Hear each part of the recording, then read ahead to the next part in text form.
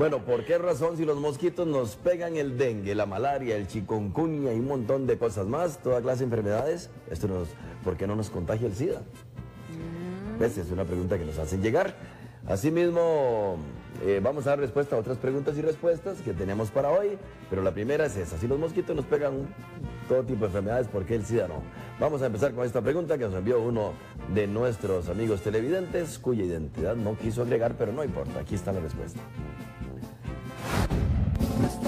Nuestro profe ya llegó, nuestro profe ya llegó, nuestro profe ya llegó, nuestro profe ya llegó, la escuelita ya está aquí, nuestro profe va a enseñar.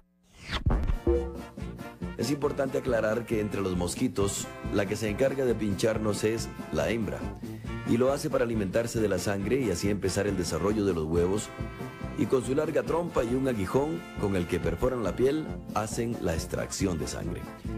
En ese momento del pinchazo, el insecto libera una cantidad de saliva que contiene su veneno y bloquea momentáneamente el proceso de coagulación de la sangre y facilita la salida del líquido por sus trompas. Ese es el instante en que el zancudo podría contagiarnos alguna enfermedad, porque si ha punzado a otra persona enferma anteriormente, esa enfermedad se reproduce en el animalito y lo puede pasar al próximo que elija picar. Un zancudo no puede transmitirnos el SIDA precisamente porque al pinchar a una persona contagiada no logra que el virus se reproduzca en su organismo. No en el caso del SIDA. No encuentra las células humanas que necesita la enfermedad para reproducirse, de manera que al picar a una nueva víctima podría contagiarle cualquier otro padecimiento, pero no el SIDA. Lo mismo ocurre con cualquier otro insecto chupador de sangre, como pulgas o garrapatas. Eh, buenas, soy Marlen Murillo. Mi pregunta es que si una persona que dona su hígado puede vivir sin él. No es posible que una persona viva sin tener un órgano como el hígado. Es uno de los órganos vitales y de paso de los más grandes del cuerpo humano. Cuando una persona dona su hígado para un trasplante, lo que realmente entrega es una parte de ese hígado. Este se compone de cuatro partes, de cuatro lóbulos propiamente dicho, y en caso de donación es uno de esos lóbulos lo que se obtiene para la operación. De esa forma es suficiente para dar vida al paciente y al donador. Cuando se trata de un donador fallecido o que está a punto de fallecer, sí se puede dar la donación del hígado completo.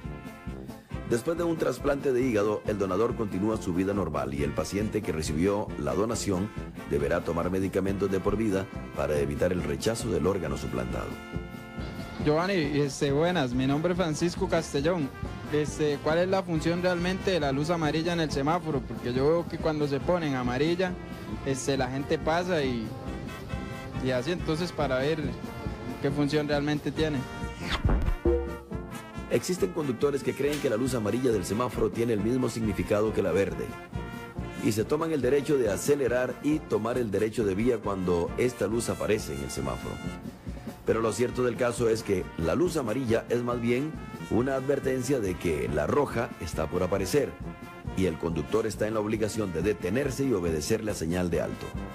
El único caso permitido para continuar con luz amarilla es cuando el vehículo avanza ya a una distancia de 3 metros del semáforo, pero antes debe atender la señal de parada. Desobedecer la señal preventiva del amarillo, atenderla de manera equivocada, ha causado muchos accidentes lamentables en nuestras vías. Por eso es importante tener presente que el amarillo no es una invitación para acelerar y lograr el paso, sino una advertencia para detenerse y dar paso a otros.